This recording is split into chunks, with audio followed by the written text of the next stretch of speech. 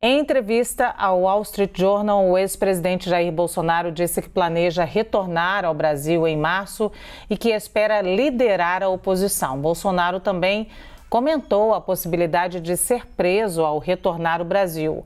O ex-presidente disse o seguinte, abre aspas, uma ordem de prisão pode surgir do nada, fecha aspas. Começamos esse tema do.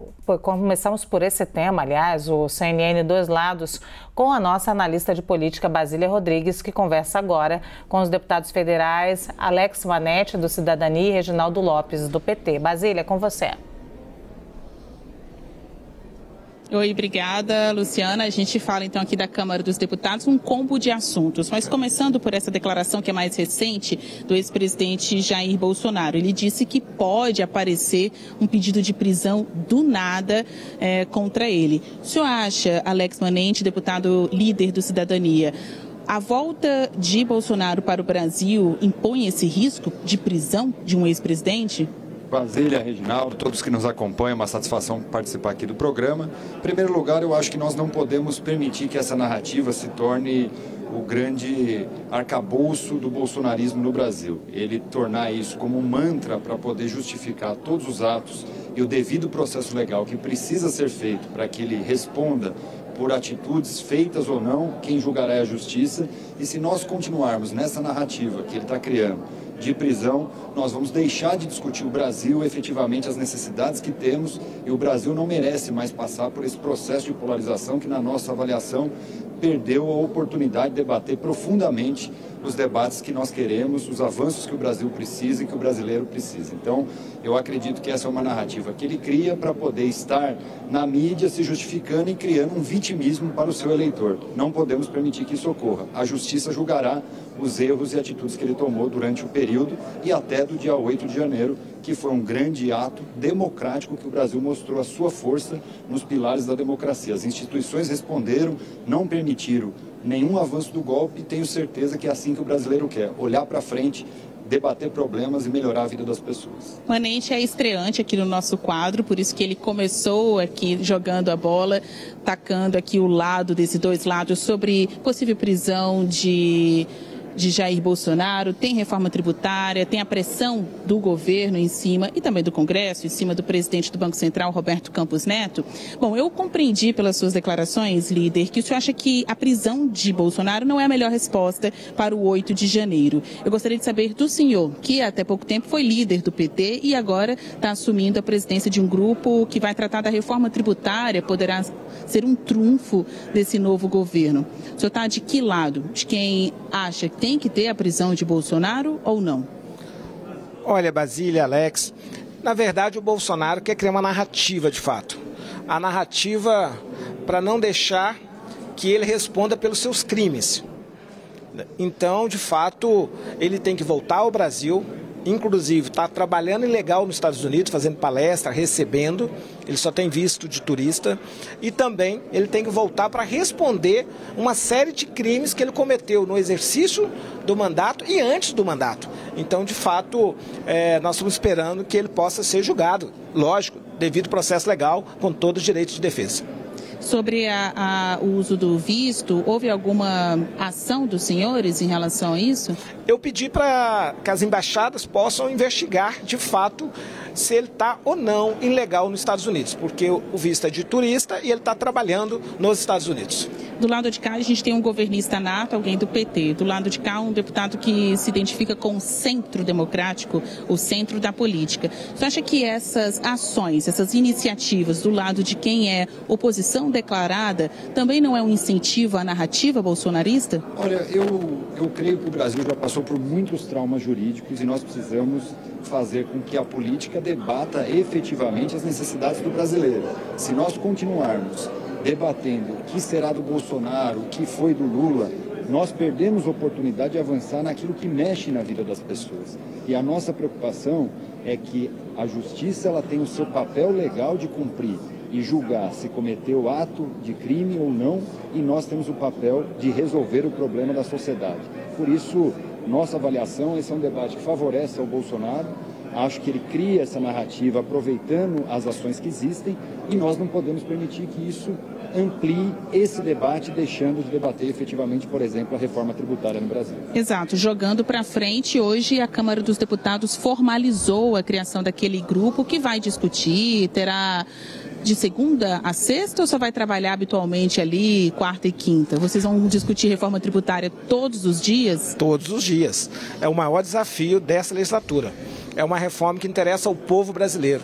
É uma reforma que está madura. Falta construir no diálogo as convergências. Então esse colegiado ele tem a responsabilidade de dialogar com todos os setores, setores produtivos, mas também com todos os entes federados, né, em especial com os governadores e os prefeitos, para a gente encontrar um ponto de convergência para votar a reforma. Eu digo, a melhor reforma possível para fazer o Brasil avançar.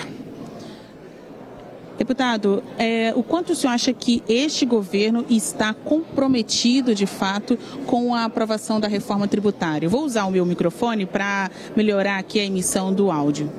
Olha, na verdade, eu imagino que o governo está preocupado de fato com a reforma tributária porque é uma necessidade do nosso país. Nós primeiro precisamos entender que o Brasil é um dos que tem a maior carga tributária do mundo. Nós precisamos unificar essa carga tributária, diminuir é, o, a carga a quem gera desenvolvimento e, na nossa avaliação, o principal objetivo, e óbvio que tem vários interesses de vários setores que são diferentes, e o deputado Reginaldo coloca bem, buscar convergências dos setores, mas é mudar o escopo da forma tributária no Brasil, que é transformar, ao invés de tributarmos produção, tributarmos consumo, que é o mais justo, que é onde o dinheiro precisa ser aplicado pelo número de pessoas que existem. Isso diminui distorções que ocorrem em muitos municípios e estados e permite com que de fato o cidadão tenha do tributo o serviço público gerado, que esse é o mais importante. E debater efetivamente aqueles que são menores para diminuir a diferença social, e só se faz isso através de uma reforma tributária, que é exatamente fazer com que os menores, por exemplo, prestadores de serviços, sejam isentos. Essa será uma grande batalha nossa nos prestadores de serviços como cabeleireiro, que ganha até 100 mil reais no ano e possa ser isento da tributação de serviço para poder gerar a economia de fato na vida das pessoas. E é esse governo que vai aprovar a reforma tributária? É a Câmara dos Deputados. O governo está propondo, a Câmara está debruçada sobre isso. Hoje o grupo de trabalho liderado e presidido pelo deputado Reginaldo, tem essa grande responsabilidade de apresentar ao parlamento as possibilidades de mudança e, obviamente, no plenário da Câmara, na comissão especial, ampliar e buscar as convergências e entregar ao Brasil, na minha opinião, até o final desse semestre, para que tenhamos condições de ver as diferenças ainda nessa legislatura e nesse mandato do presidente Lula. Essa, inclusive, seria a minha pergunta. Prazo. Eu vou utilizar o mesmo microfone para dar aqui paridade de armas aos dois entrevistados. Prazo para entregar a reforma tributária aprovada aqui na Câmara dos Deputados. Qual a sua perspectiva? Olha, nós vamos fazer a reforma tributária em duas etapas. A primeira são os impostos indiretos, imposto sobre consumo. A segunda etapa, impostos diretos, ou seja, modernizar o nosso sistema de cobrança de impostos na renda, patrimônio, folha de pagamento. Na primeira etapa, eu espero, eu acho que é necessário votar no primeiro semestre. Eu acho que uma reforma, como a reforma tributária, que é estruturante, é, tanto do ponto de vista do Legislativo, da Câmara e do Senado, mas também do ponto de vista do Executivo, ou vota no primeiro ano ou não vota sobre a pressão em cima do cargo que é de presidente do Banco Central, que a gente tem acompanhado nos últimos dias, em torno da manutenção da taxa de juros em 3,75%. O que esperar dessa relação do governo com o presidente do Banco Central, Campos Neto? Primeiro lugar, nós defendemos a autonomia do Banco Central, foi votado aqui na Câmara dos Deputados, no Congresso Nacional, e é fundamental que o presidente do Banco Central tenha essa autonomia para poder tomar as atitudes que nem sempre são as mais populares, mas são necessárias para a solidez da nossa economia.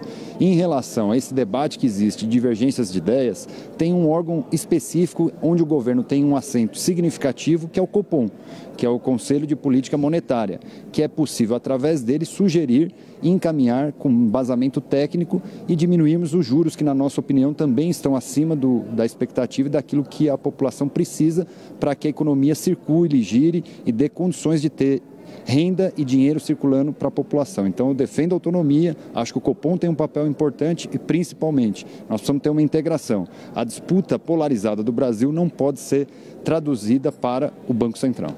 Expor o presidente do Banco Central é a melhor alternativa para reduzir a taxa de juros? Olha, o Banco Central sempre foi autônomo nas suas decisões. É diferente a autonomia da independência. É um erro é, acreditar que existe política monetária separada da política econômica como um todo. Então, eu acho que nós erramos. O mandato do presidente do Banco Central com autonomia deveria coincidir com o mandato eleito pelo povo brasileiro, que é o voto popular no presidente da República. E construir conjuntamente a melhor política econômica. Aí é necessário fazer uma crítica. Não existe nenhuma razão, do ponto de vista teoria econômica, em especial pós-pandemia, que justifique uma taxa de juro de ganho real de 8%. Isso impede, de fato, o Banco Central autônomo cumprir as suas duas outras obrigações: pleno emprego, política para gerar emprego e também política para estabilizar todo o sistema financeiro do Brasil. Em outras palavras, hoje, do jeito que está, o presidente da República pode escolher, mas não pode demitir o presidente do Banco Central. O senhor acha que o Congresso vai discutir alguma proposta? Eu faço a mesma pergunta para o senhor para a gente encerrar os dois lados de hoje. Tem espaço para discutir alguma proposta que recue é, no expediente que existe hoje no Banco Central de independência? O senhor acha que pode acontecer? O Congresso vai mudar essa lei?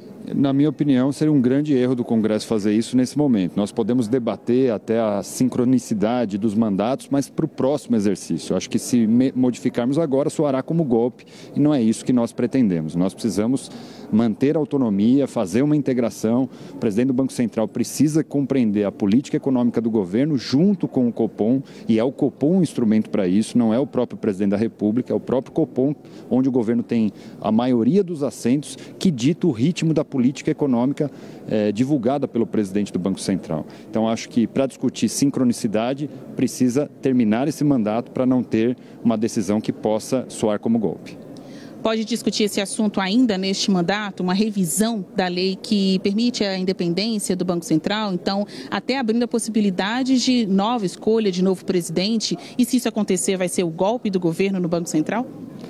Eu não defendo é, romper o mandato do atual presidente, não. Eu acho que nós temos que discutir, sim, que é importante para a democracia e para a política econômica é essa coincidência de mandato, tanto do Banco Central como do presidente da República. Nós erramos quando a gente separou o tempo de mandatos. Tá certo. Eu quero agradecer então aqui o líder do Cidadania, Alex Manente, ele que é de São Paulo, deputado federal pelo estado de São Paulo, e também ao senhor Reginaldo Lopes, do PT de Minas Gerais, agora coordenador do grupo da reforma tributária. Tem muito trabalho para o pós-carnaval, né? Obrigada aos senhores e ótimo feriado a todo mundo. Tchau, tchau. Luciana?